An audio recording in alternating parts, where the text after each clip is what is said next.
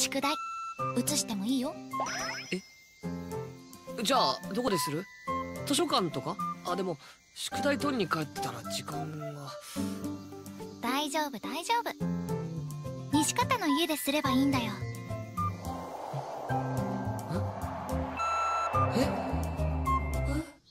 夢ではなかろうか。高木さんが俺の部屋に。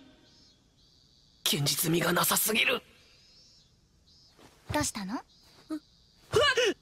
ぼーっとしてたけど。いや別に。全巻揃ってる。ちょちょっと見ないでよ。あごご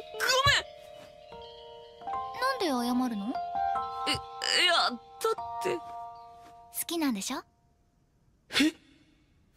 ？100%片思い。え折りたたみのちゃぶ台とかは？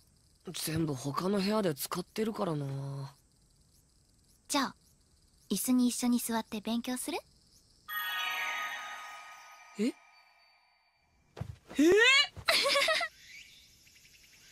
ベッドで勉強しようか。あほら布団めくったら机代わりになるし。どうかした？ナイスあえて一緒に宿題する必要なかったのでは。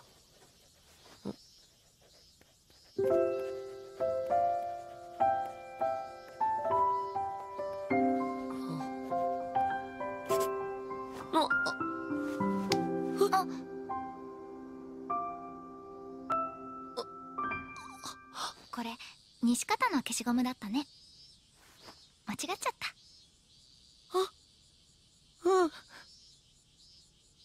でごごめん喉乾かない麦茶でいいうん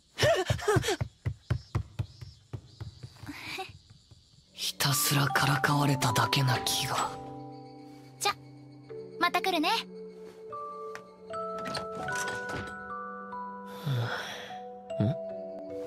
また来るね